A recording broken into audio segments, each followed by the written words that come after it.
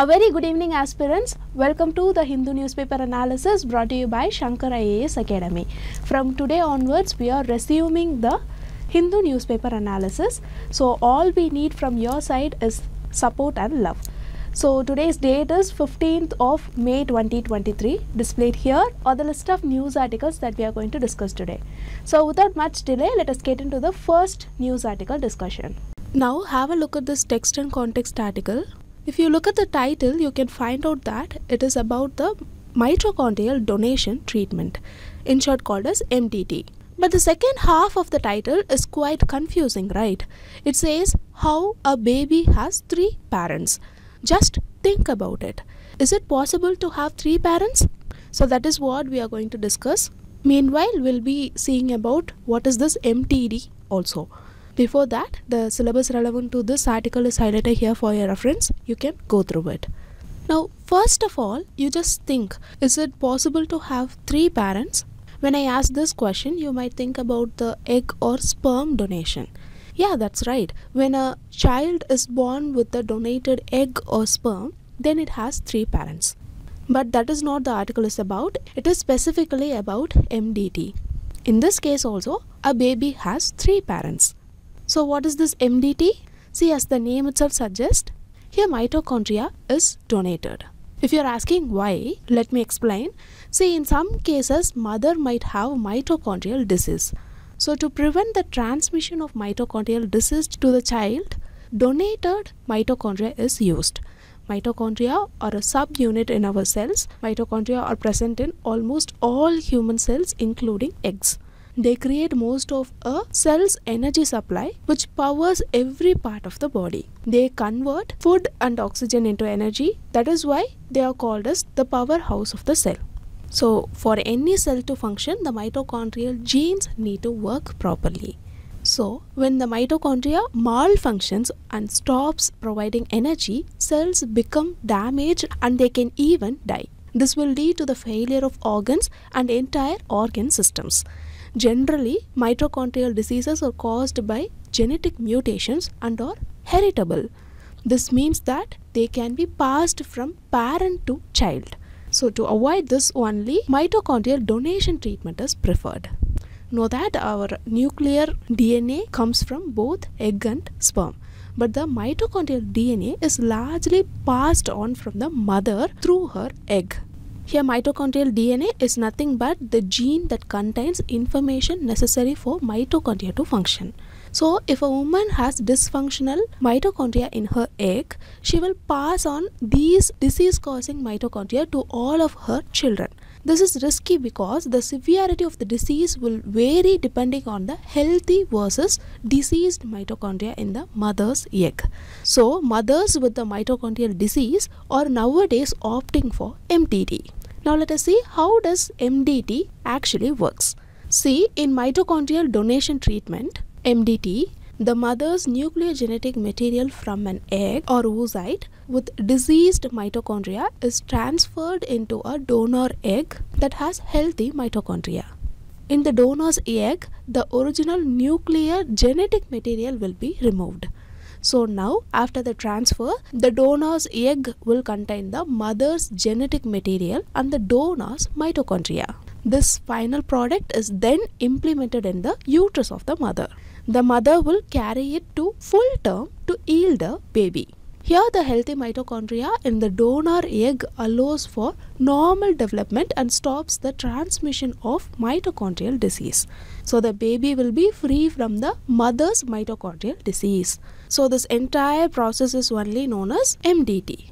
It is also known as mitochondrial replacement therapy or MRT.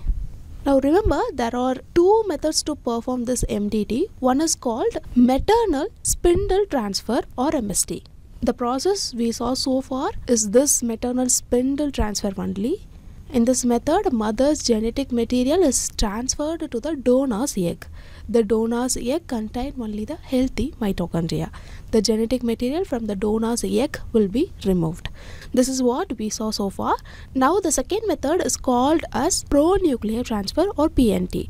See, in this method, mother's egg are fertilized with sperm in a lab to create embryos. The nuclear genetic material within each embryo is then transferred into embryos created using donated eggs and sperm from the sperm provider.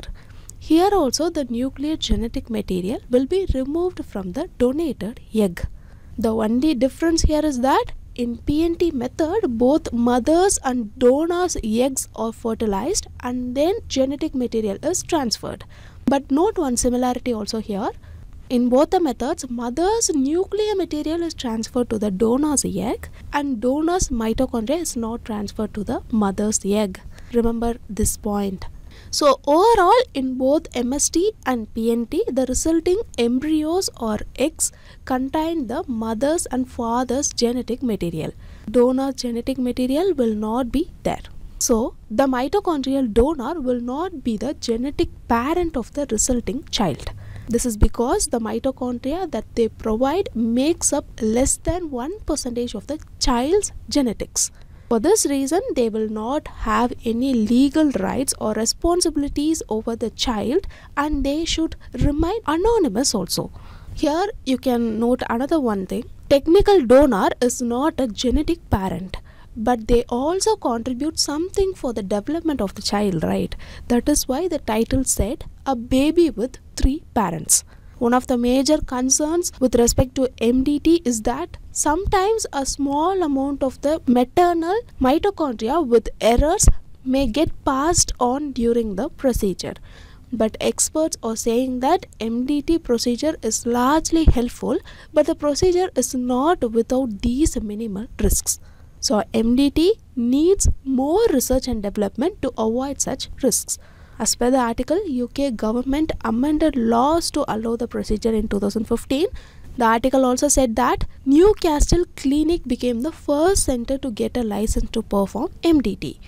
The approval is given on a case by case basis by the UK's Human Fertilization and Embryology Authority HFEA. So that's all you have to remember about this news article discussion.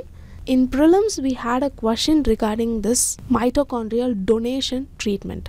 If you have time, go and look into that question also. So, with this, let us move on to the next news article discussion.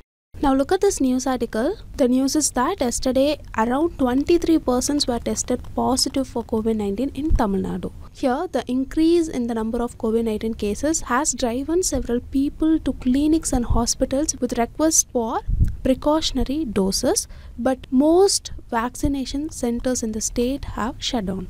So the people in Tamil Nadu are struggling to get vaccinated. Even though the issue is not very important to the examination, let us learn about different types of vaccines and how they actually work. First of all, know that vaccine can help us to protect against certain diseases by imitating an infection. This type of imitating an infection will teach our immune system to fight off against future infection. Sometimes, after getting a vaccine, the imitation of the infection can cause minor symptoms like fever. Such minor symptoms are normal and it is the sign that our body builds immunity. Now, coming to the types, see, there are several types of vaccines like live attenuated vaccines, killed or inactivated vaccines, toxoid vaccines, viral vector vaccines, subunit vaccines, conjugate vaccines, mRNA vaccines, and so on. Now, let us restrict our discussion to the live attenuated vaccine, killed or inactivated vaccine, viral vector vaccine, and mRNA vaccines. First, let us take live attenuated vaccines. See, these type of vaccines can be able to fight against both viruses and bacteria.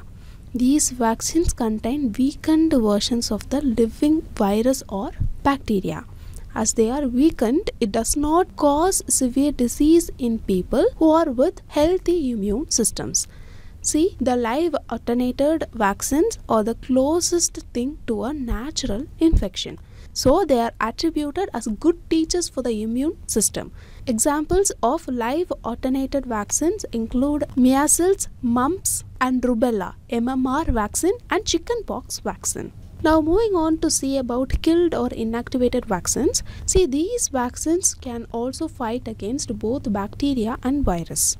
They are created by inactivating a pathogen typically using heat or chemicals like formaldehyde or formalin. This process destroys the pathogen's ability to replicate, but the process keeps the virus or bacteria intact. So, the immune system of our body can still recognize the virus or bacteria and develop antibodies. However, inactivated vaccines tend to provide shorter protection than live vaccines and they are more likely to require boosters to create long term immunity. Covaxin and inactivated polio vaccines are some of the examples of inactivated vaccines. Now, moving on to see about viral vector vaccines. See, the viral vector vaccines use a modified version of a different virus as a vector to deliver protection. Several different viruses have been used as vectors, which includes influenza, measles virus, and adenovirus that are known to cause common cold. Adenovirus is one of the viral vectors used in some COVID 19 vaccines. The COVID vaccines like Sputnik V, Johnson & Johnson's and AstraZeneca are some of the examples of viral vector vaccine. Now finally let us take mRNA vaccine. See the messenger RNA vaccine in short called as mRNA are created using messenger RNA. It is nothing but a single stranded RNA molecule. The mRNA vaccine works by introducing a piece of mRNA into the human body. Here, the mRNA is similar to that of a small piece of a protein found on the virus's outer membrane. By using this mRNA, the cells in our body can produce the viral protein.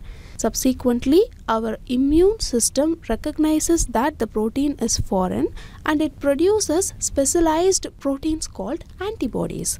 These antibodies in turn will help to protect the body against infection by recognizing individuals' viruses or other pathogens.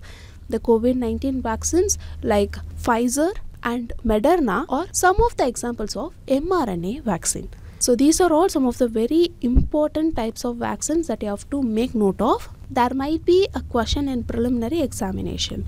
So with these learned points, let us move on to the next news article discussion.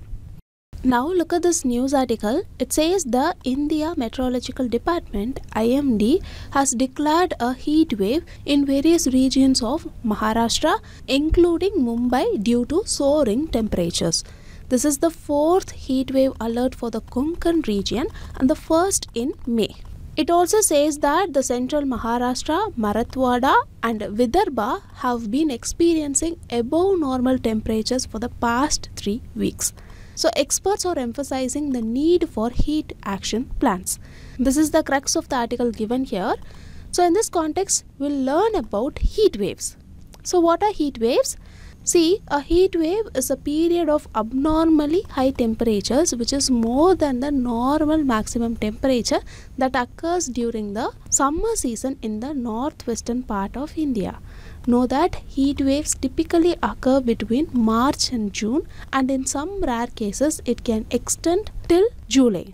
So now we'll see what is the IMD criterion for declaring a heat wave. See, heat wave is considered if the maximum temperature of a station reaches at least 40 degrees Celsius or more for plains and at least 30 degrees Celsius or more for hilly regions. Also, to describe a heat wave, we look at two factors. Firstly, the departure of the maximum temperature from its normal state, and secondly, the departure of the actual maximum temperature itself. In the first factor, that is deviation from normal state, here a heat wave occurs when the temperature departs from the normal range by 4.5 to 6.4 degree Celsius. But when the departure from normal exceeds 6.4 degree Celsius, we are facing a severe heat wave. Now the second factor, deviation from actual maximum temperature. Here a heat wave occurs when the actual maximum temperature is above 45 degree Celsius and a severe heat wave occurs when the actual maximum temperature is above 47 degree Celsius. Then for coastal stations, a heat wave is declared if the maximum temperature deviates by a minimum of 4.5 degrees Celsius from the average provided the maximum temperature actually experienced is at least 37 degree Celsius. So these are the criteria, make note of them. Now we'll see what are the impacts of heat waves.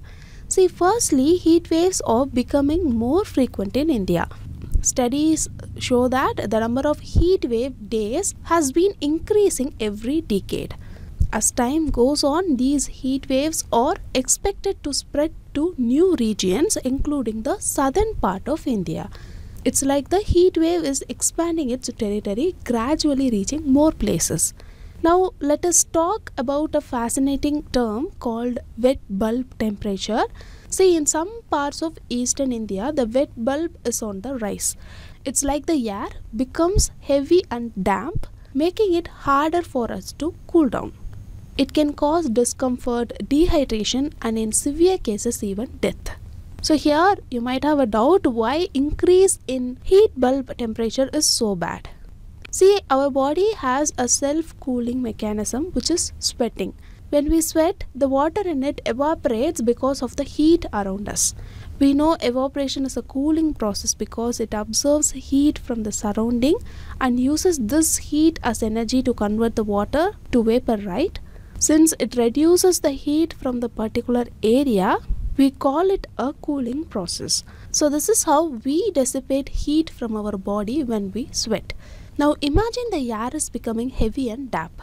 So, what will happen? This evaporation process will not happen. See, the wet bulb temperature measures the temperature at which water evaporates from a wet surface like our skin under specific humidity conditions. So basically high wet bulb temperature means sweating becomes less effective in cooling us down. This can lead to heat related illnesses and heat stroke.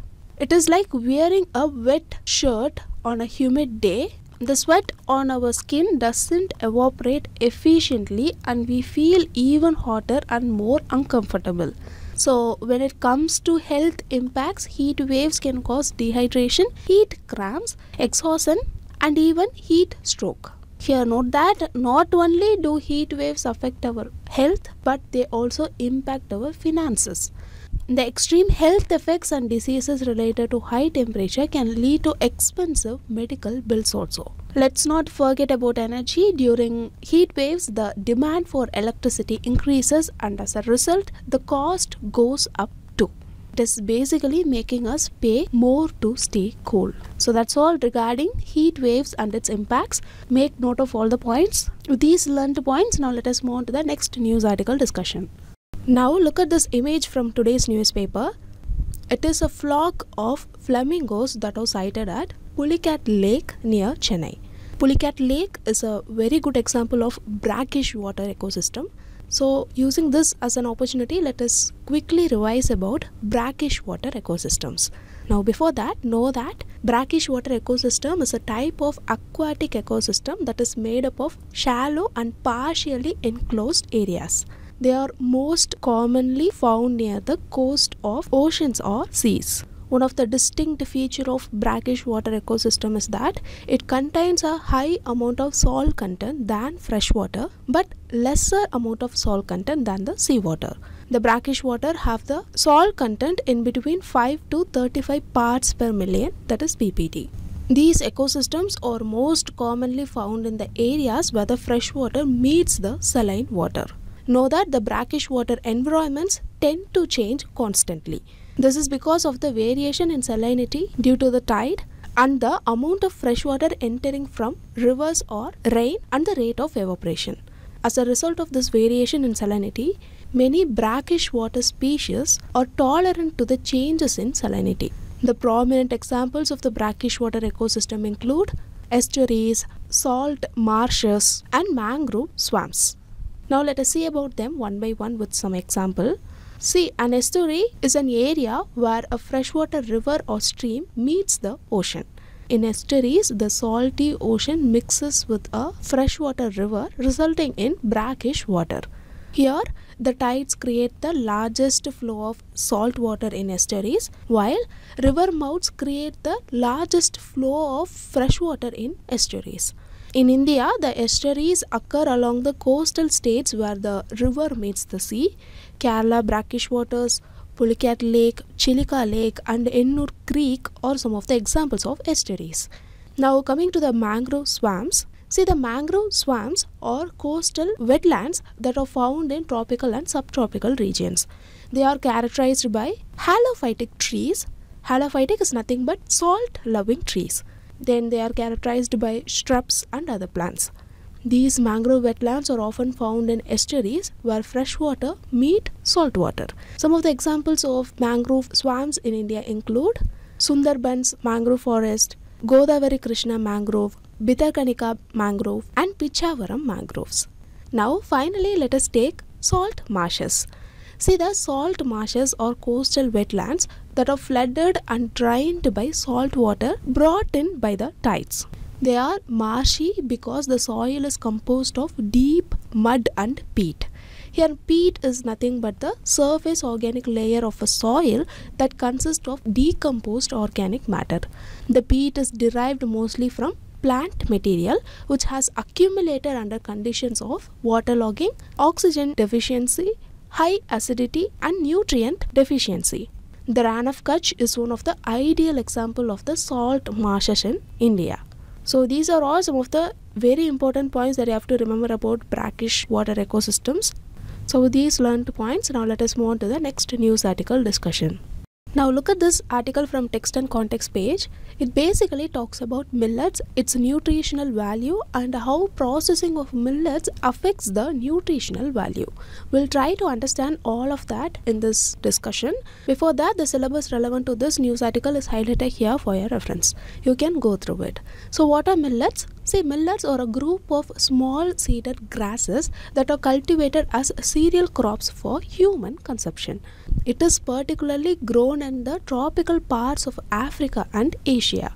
Some common varieties include pearl millet, barnyard millet, finger millet, and foxtail millet. These crops have been cultivated in the Indian subcontinent for thousands of years and know that India is currently the largest producer of millets globally.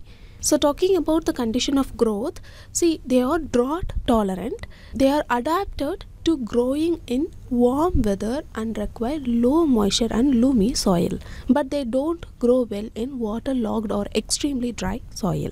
In a sense, we can say that the millet or warm season crops they prefer temperatures ranging from 25 degrees Celsius to 35 degrees Celsius. They are adapted to tropical and subtropical regions where the climate is hot. So why this article talks about millets all of a sudden? See, of late, millets have gained popularity as a source of nutrition for several reasons. Firstly, they offer a range of nutritional benefits comparable to major food crops and in some cases they even surpasses them. Secondly, millets are known for their ability to thrive in harsh and resource poor conditions. This makes them an excellent option for regions facing environmental challenges and food security issues. Now, talking about their nutritional value, see the nutritional value of millet is very significant. They contain carbohydrates, proteins, fiber, amino acids, and various minerals. Different millet varieties have different nutrient profiles. For example, if you take pearl millet, it has higher protein content than rice, maize, and sorghum. Another example is finger millet. It has more crude fiber than wheat and rice. Also, millets are rich in amino acids, micronutrients, and phytochemicals. So, this makes them an important source of nutrition. Now, let us quickly see the structure of kernel before understanding about the processing of millets. See, if you take a millet kernel, you will find that it consists of three main parts the pericarp, endosperm, and germ. The pericarp, along with the husk, protects the kernel from unfavorable conditions, diseases, and physical damage. The endosperm is the largest part and serves as the storage center for the kernel. It contains proteins, starch, and B complex vitamins.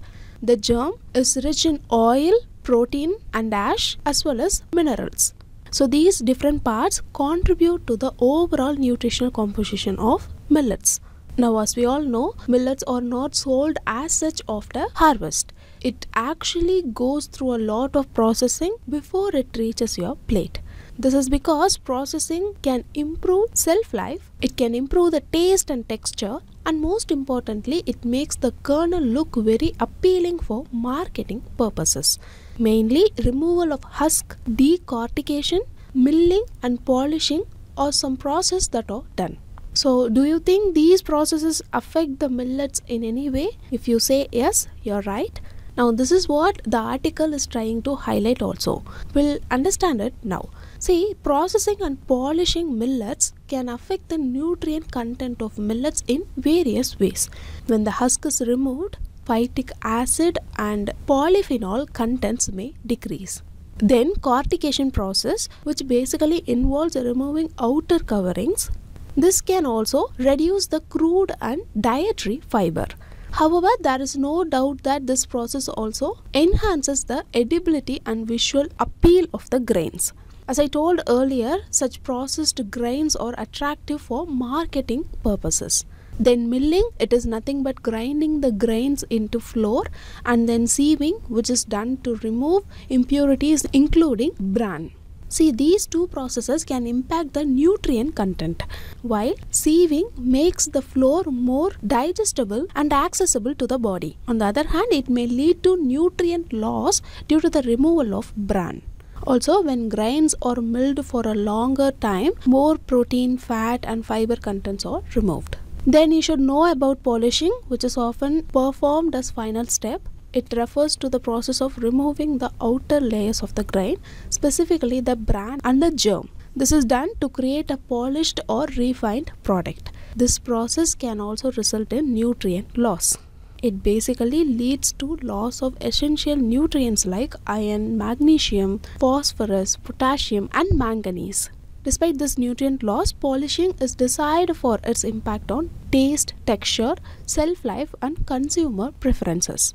Now, on the other hand, know that there are processes like germination and fermentation. These processes can actually improve the overall nutrient characteristics of millets.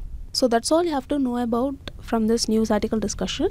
In this news article discussion, we saw in detail about millets.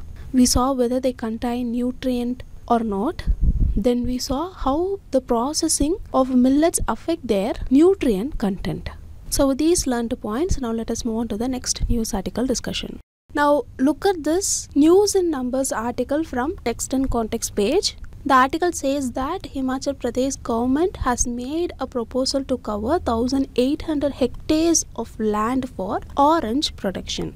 This has been done under the HP Subtropical Horticulture Irrigation and Value Addition, in short called as Shiva project funded by the Asian Development Bank.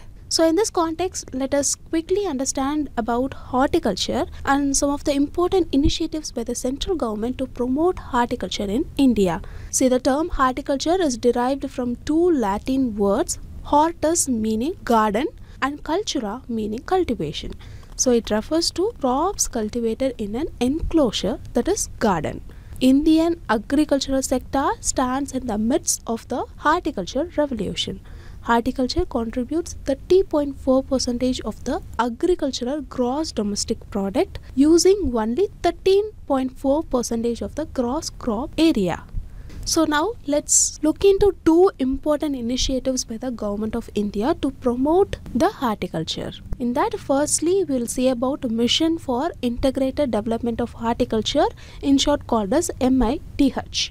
See, MIDH was launched in 2014. It is a central sponsored scheme for the holistic growth of the horticulture sector covering fruits, vegetables, root, spices, flowers, aromatic plants and bamboo since it is a centrally sponsored scheme when it comes to funding 60% of the cost is incurred by the union government and the remaining 40% is incurred by the respective state governments in case of northeastern and Himalayan states, the funding pattern is 90 is to 10. MIDH also provides technical advice and administrative support to state governments and state horticulture mission for saffron mission and other horticulture related activities like Rashtriya Krishi Vikas Yojana.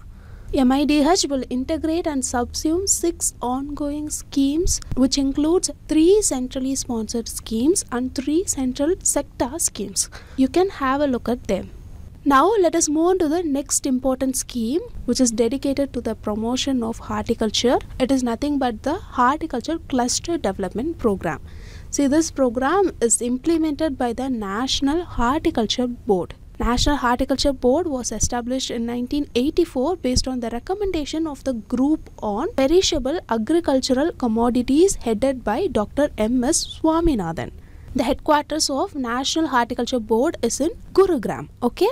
Now coming back to the program, see it is designed to leverage the geographical specialization of horticultural clusters. The Ministry of Agriculture and Farmers Welfare has identified 55 horticultural clusters, of which 12 have been selected for the pilot launch of the project. Based on learning from the pilot project, the program will be scaled up to cover all 55 clusters. Here in this image, you can see all that 12 clusters that have been selected for the pilot launch of the scheme. Remember for implementation of CDP, cluster-wise cluster development agencies have been appointed based on the recommendations of the central and the state governments. So some of the key features of this scheme include capacity building of farmers for pre-production, then post-harvest management and value addition, and it includes logistics, marketing and branding. The expected outcomes from the scheme include development of cluster brands, 20% increase in exports. It is expected to be beneficial to 10 lakh farmers and it is expected to have ability to handle 80 lakh metric tons of produce. So that's all regarding this news article. In this news article discussion, we saw in detail about what is horticulture, its current status. Then we saw two important schemes that are exclusively dedicated for the improvement of horticulture in India. So with these learned points, now let us move on to the next news article discussion. Now take a look at this news article here. It is about the bails granted to accused persons. Supreme Court have held that bail cases should not be too long and elaborate. Supreme Court said this because it violates the constitutional mandate of personal liberty which is guaranteed by Article 21. So this is what is given in today's news article. So in this news discussion, let us see about bail in prelims perspective. First of all, what is bail? See, the concept of bail is a basic part of the Indian criminal jurisprudence. Bail refers to the provisional release of the accused in a criminal case in which the court is yet to announce the judgment. So, it is granted before the judgment. See, usually bail is given on the condition to deposit some security. This is done to ensure the person's return at the required time. Here, security may be cash or property papers or bonds of private persons. If the bailed person do not return at the appropriate time, then the security subsumed by them will be forfeited. Know that courts have greater discretion to grant or deny bail in the case of persons under criminal arrest. Now, coming to India specific information, see, as far as laws are concerned, the term bail is not defined in any legislation. But in Criminal Procedure Code 1973, the terms bailable offence and non bailable offence are defined. And generally, there are three major types of bail. First one is the regular bail. See, regular bail is frequently issued to any individual who has previously been arrested and detained by police. The accused has the right to be freed from such confinement under section 437 and section 439 of the CRPC. Second one is interim bail. See, it is a bail issued for short period. Interim bail is granted to an accused before the hearing for regular or anticipatory bail. So, what is this anticipatory bail? It is another type. Here, if a person suspects that he may be arrested for non bailable offense, he may petition for anticipatory bail. In recent years, this has become an important problem because corporate competitors and other prominent persons sometimes seek to frame their opponents with fake charges. it is similar to obtaining advance bail under section 438 of the CRPC. So these are all some of the important facts that you have to know about bail and its types. With these learned points, now let us move on to the next news article discussion. Now take a look at this news article. It says that the southwest monsoon is expected to reach the Andaman Sea by May 20 and it is going to cover the entire Andaman and Nicobar Islands on May 22. Then the monsoon is likely to reach Kerala by June 1 with an error margin of plus or minus 5 days. The article further says that the countdown for the arrival of the monsoon has already begun with the formation of high pressure area called Mascarenas High near Madagascar. So this is the crux of the news article given here. In this context, let us quickly revise about southwest monsoon. See, first of all, know that monsoon refers to the seasonal reversal in the wind direction during a year in between winter and summer seasons. In India, there is a double system of seasonal winds which causes two different monsoon patterns. The monsoon patterns are firstly the southwest monsoon. During the southwest monsoon, the wind blows from the southwest and it flows from sea to land during the summer. Then secondly, the northeast monsoon. During the northeast monsoon, the wind flows from the northeast and it flows from the land to sea during winter. Also remember that monsoons are experienced more in the Indian subcontinent compared to any other region and this is due to various factors. We'll see about them one by one. Firstly, favorable geographical location at the southern edge of the Asian continent. Secondly, the Tropic of Cancer passes through the Indian subcontinent. Thirdly, the vast Indian Ocean lies south of the Indian subcontinent. Fourthly, strong land sea thermal contrast, especially during summer, exists in India. And finally, the presence of the Himalayan mountain barrier along the northern boundary of the Indian subcontinent. So, these are some of the common factors that are contributing to the monsoons in the Indian subcontinent. Now, since the news is about southwest monsoon, let us see few more facts about southwest monsoon. See, southwest monsoon season falls between June to September. During southwest monsoon, the wind flows from sea to land during the summer. This is due to the differential heating of land and sea. We know that during summer, the northwestern parts of India become very hot due to very high temperature, right? This is mainly due to the apparent shift of the sun in northern hemisphere. Now, due to higher temperature over the land in summer, a low pressure area develops over the land. So, the wind blows from neighboring oceans towards the land. And since these winds are of maritime origin and are blowing over warm water bodies before reaching land, they are moisture laden. This in turn causes ample rainfall in summer. The sudden onset of rainfall is called break of monsoon or the burst of monsoons. This is why southwest monsoon period is the chief rainy season for whole India. Know that about 75% of the country's annual rainfall is realized during southwest monsoon season.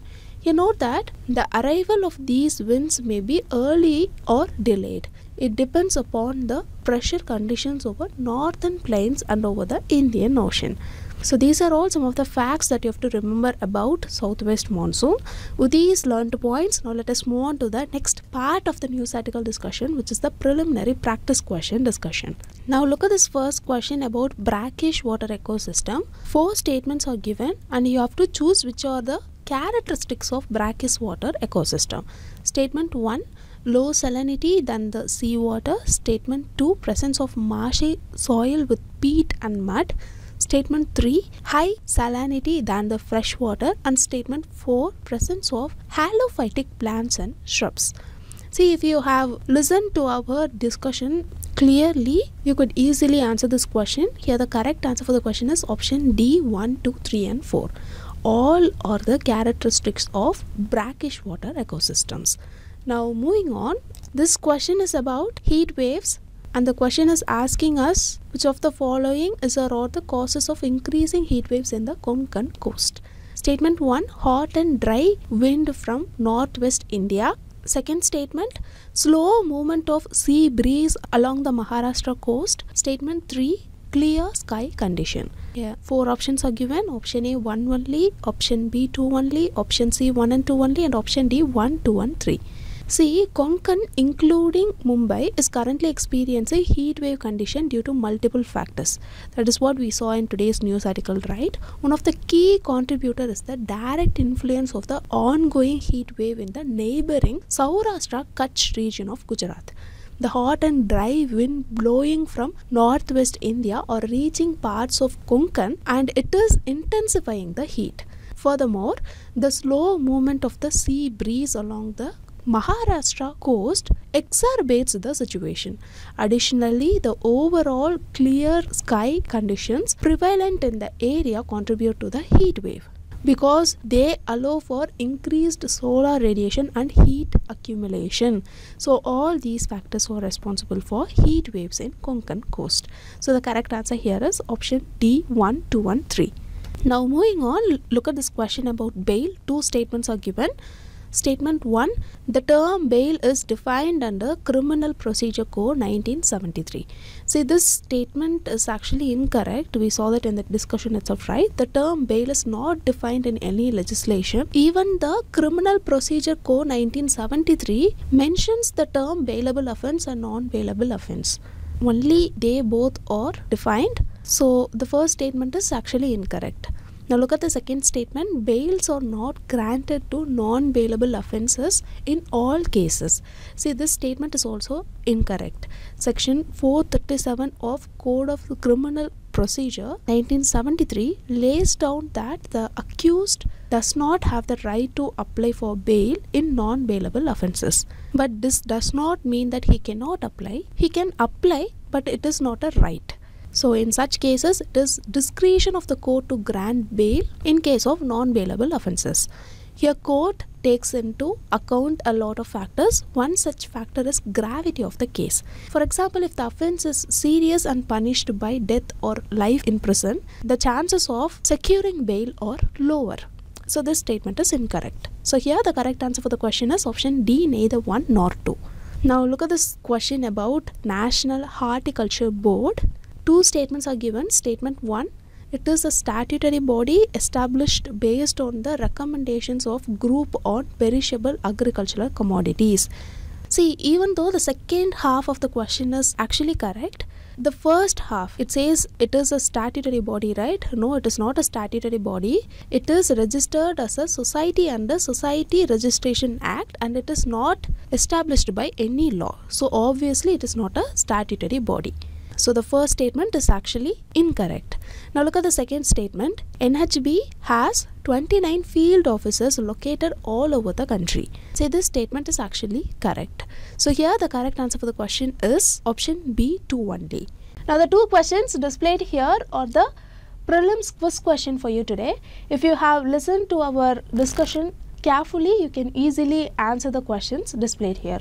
So post the correct answer in the comment section below. And moving on, the two questions displayed here are the mains practice questions for you today. Just go through the questions, try to write an answer and post that also in the comment section. So with this we came to the end of the news article discussion. If you like the video, hit like, do comment and don't forget to subscribe to Shankar IAS Academy. Now thank you so much for listening.